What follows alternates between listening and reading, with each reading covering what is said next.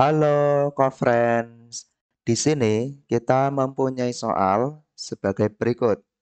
Untuk menjawab soal tersebut, kita menggunakan konsep dari besaran dan satuan.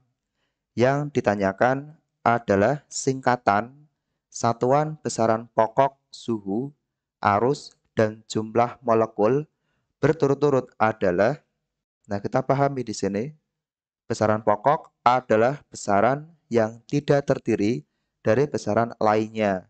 Artinya tidak bergantung pada besaran yang lain. Yang dimaksud besaran adalah segala sesuatu yang dapat diukur. Nah, besaran pokok dengan satuan SI antara lain panjang satuannya meter. Nah, singkatannya M. Kemudian massa satuannya kilogram. Singkatannya kg. Waktu satuannya sekon, singkatannya S.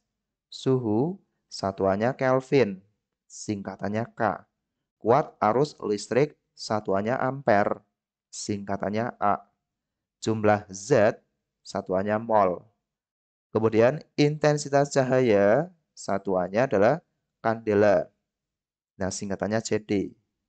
Kemudian kalau kita lihat pada pilihan jawaban tersebut, untuk opsi yang A ini salah, karena untuk satuan besaran pokok suhu itu kan K ya, Kelvin, bukan C.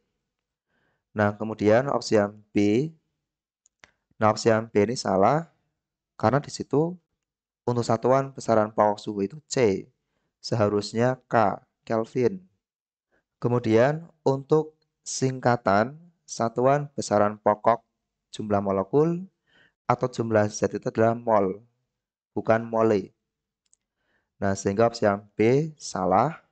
Opsi yang C ini salah ya. Karena satuan dari kuat arus listrik itu A, ampere. Nah, kemudian untuk satuan dari jumlah molekul dalam mol. Sementara pada opsi yang C itu kan ditulis K, mole, kemudian A. Ini kurang tepat. Nah, sehingga opsi yang C ini salah. Opsi yang D itu betul ya. Satuan besaran pokok suhu K, Kelvin. Kemudian kuat arus listrik A, ampere. Lalu jumlah molekul itu mol. Nah, opsi yang E ini salah.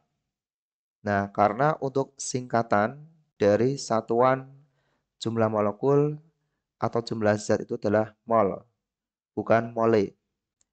Maka kita ambil kesimpulan, jawaban yang tepat adalah yang opsi D.